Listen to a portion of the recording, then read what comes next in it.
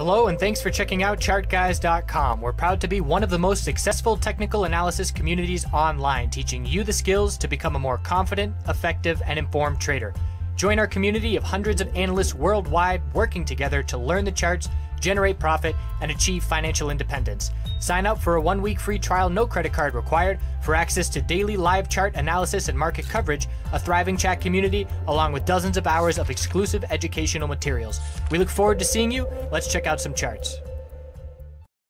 Hey guys, it's James the Chart Guys. It is Thursday, August 3rd. Going to do my nightly video on gold. So gold again has broken this weekly downtrend line. Back test is holding. You can see the long lower wick so far. Uh, we do have jobs numbers tomorrow, and that could affect gold depending on the reaction. Something to keep in mind. The daily, uh, we had an inside candle initially broke bear, but held the 8 EMA backtest, and you could see since this TCG bull cross, since we've gained the four and EMAs, um, it's it's held this. It's it hasn't even come close to losing the 8 EMA, and you could see it's held the 4 EMA the whole time as well. There hasn't been a single close below the 4 EMA. So again, this consolidation sideways on the daily is in favor of the bulls.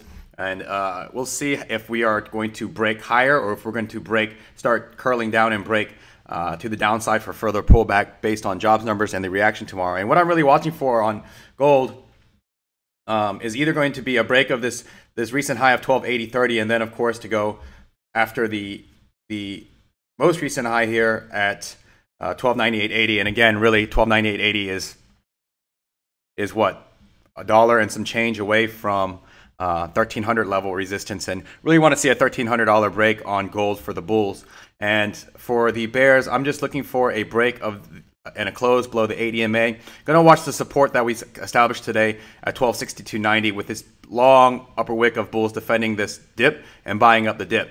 So that's gonna be very interesting to watch tomorrow. GDX, same thing. Uh, waiting for a TCG bear cross again where the 4 EMA crosses under the 8 EMA. We haven't had that yet with this TCG bull cross. We did break below the 8 EMA, but have held this TCG bull cross the whole way up.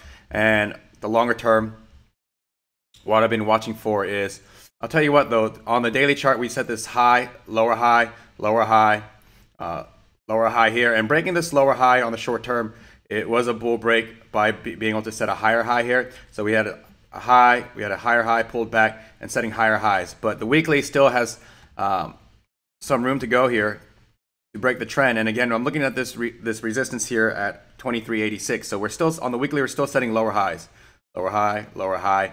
And so waiting for this to break at 23.86 for a longer term trend. Uh, with like a nice TCG bull cross, hold the 20 MA here on this back test on the weekly, and then to break above this 23.86. Uh, red flag if we break, if we pull back and break below the recent low here of 20.99 on the longer term. And on the daily, um, again, still watching this consolidation recent low here at 22.46 that we need to hold. Uh, 22.46 is crucial. If we break below 22.46, I'm going to look for a further downside here on the senior miners. GDXJ,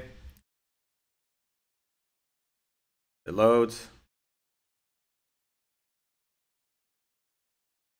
GDXJ on any consolidation here, really want to hold a low of 32.77 and we're pulling back here long upper wick at the peak here uh, of a, it's uh, basically a reversal candle, a red day here confirmed and had another red day today. So something to keep in mind, we are losing the 8 EMA here uh, on the daily. So be careful here on the on the junior miners and looking at this 20 MA support next. But again, looking at this consolidation, recent consolidation low of 32.77 that I wanted to hold. We want to consolidate above it. Uh, red flag if we lose this recent low of 32.24. That will change the trend on the daily. We've been setting higher lows on these pullbacks. So if we break below 32.24, that's going to be a red flag as we've broken the trend for the bears to take control on this daily trend. Have a good night, and I'll see you tomorrow.